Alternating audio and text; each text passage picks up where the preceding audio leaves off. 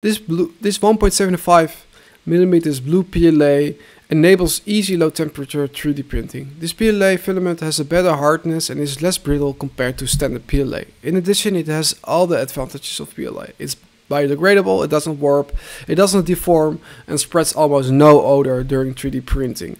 It's a really nice blue color and I had no issues while 3D printing it with any knots because it's perfectly wound up.